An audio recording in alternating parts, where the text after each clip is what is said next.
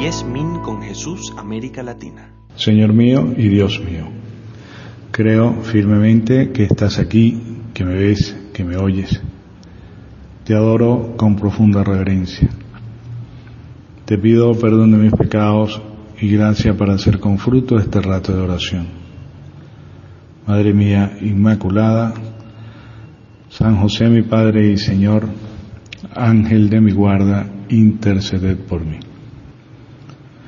Hoy San Marcos en su Evangelio nos traerá una de las muy conocidas parábolas del reino, donde el Señor se puso a enseñar junto al lago, nos da un detalle que acudió un gentío tan enorme que tuvo que subirse una barca. Se sentó y el gentío se quedó en la orilla. Les enseñó mucho rato con parábolas, como él solía enseñar.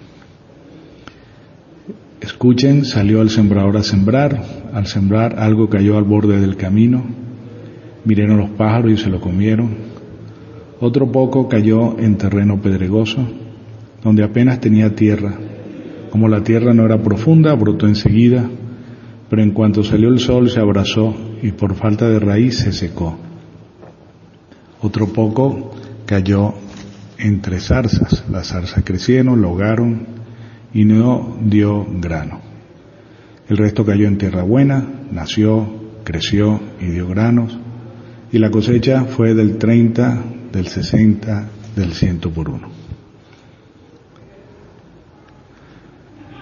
Bien, dentro de ese significado común a los tres evangelios, la narración de San Marcos subraya algo adicional, que es la dificultad de comprensión por parte de los oyentes. Los que estaban alrededor y los doce le preguntaban el sentido de las parábolas.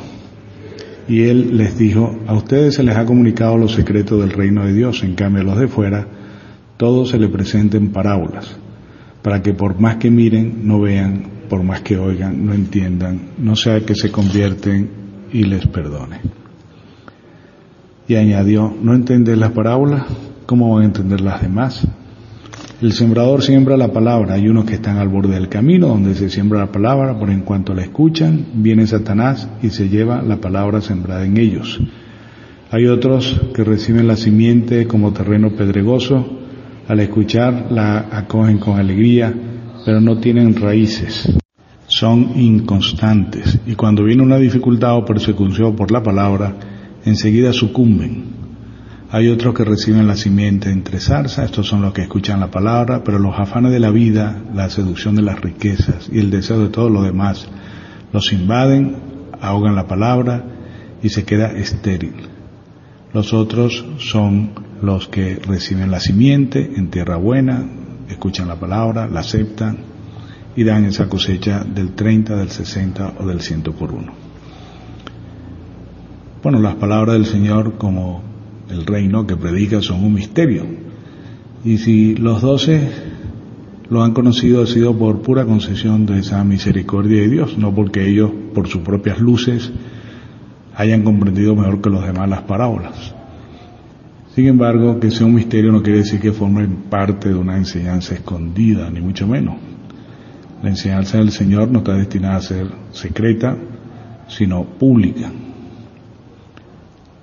Y detrás de esas expresiones está presente el mismo motivo de fondo con el resto del Evangelio. Al Señor no se le entiende si no se le comprende entero en su ser, en su misión.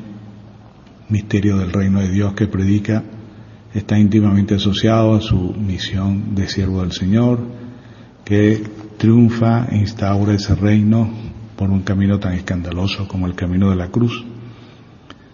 Por eso el evangelista nota que las parábolas en el fondo eran un modo adecuado de enseñanza, porque así todos sus oyentes recibían la palabra conforme a lo que podían entender.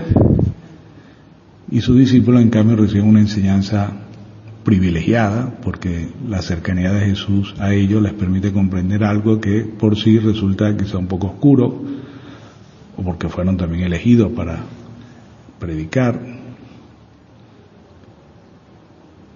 Fue muy conveniente que el Señor hablara así en parábolas. En primer lugar, por ser ese el modo de conocer, del entendimiento humano, que llegamos de lo inteligible a través de lo sensible. Todos nuestros conocimientos comienzan con los sentidos, con la vista, con el tacto, con lo que escuchamos. Pero no se quedan allí, sino que nuestra inteligencia va siempre un poco más allá. Por eso en la predicación del Señor se proponen con frecuencia las cosas espirituales envueltas en esas imágenes que puede todo el mundo entender, comprender, visualizar. Bien, con esta parábola del sembrador, el Señor nos quiere mover a que abramos generosamente nuestro corazón a la palabra de Dios y la pongamos en práctica. Una docilidad que espera Dios de cada uno de nosotros. Una escena que es muy actual, nos decía una vez San José María. Ese sembrador divino que arroja su semilla donde la obra de salvación sigue cumpliéndose y el Señor quiere servirse de nosotros, desea que los cristianos abramos a su amor a todos los senderos de la tierra, nos invita a que propaguemos el divino mensaje con la misma doctrina y con el ejemplo hasta todos los rincones del mundo. Y si miramos a nuestro alrededor, nos recordaba a este mundo que amamos porque ha salido a las manos de Dios, se verifica la parábola, la palabra de Jesucristo, pues es fecunda, suscita muchas almas afanes de entrega, de fidelidad. La vida y el comportamiento de los que sirven a Dios, muchos han cambiado la historia, incluso muchos de los que no conocen al Señor se mueven por ideales nacidos también del cristianismo. Y vemos también que parte de la simiente cae en tierra estéril o entre espinas o hasta abrojos, esos ideales de paz, de reconciliación, de fraternidad, muchas veces aceptado y proclamado, pero no pocas veces son desmentidos con los hechos, con los corazones se cierran a la luz de la fe.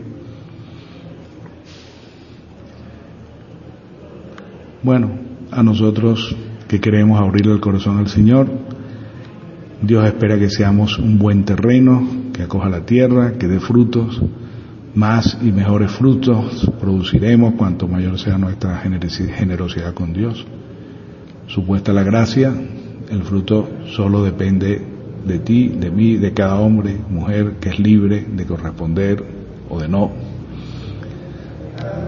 Depende muchas veces de nuestra respuesta personal a esa verdad revelada por el Señor. Y hay almas porque son buenas tierras, pero hay otras que lamentablemente se cierran Arrojar la semilla es un gesto de confianza del Señor que lo ha hecho en, el alma de cada uno de nosotros. Un gesto de confianza, un gesto también de esperanza. Hay que entrar en una espera muchas veces impotente para ver los frutos, sabiendo bien que muchos factores determinarán el éxito de la cosecha y que siempre pues se puede correr el riesgo del fracaso. Pero como Jesús mismo explica a su discípulo, este sembrador que representa al Padre, que esparce abundantemente la semilla de su palabra, pues que no se encuentre con la aridez de nuestro corazón. E incluso cuando sea acogida por cada uno de nosotros, que no corre el riesgo de permanecer estéril. estéril. Nosotros somos esa semilla que Dios ha sembrado en la tierra, que encierra en su interior esa fuerza de lo alto, la fuerza del Espíritu Santo. Y para que la promesa de vida se convierta en fruto, pues el único camino posible es dar la vida por amor, es ese morir por amor. Por eso nos decía una vez el Papa Benedicto, no tengamos miedo de tomar decisiones definitivas. Ánimo, nos decía.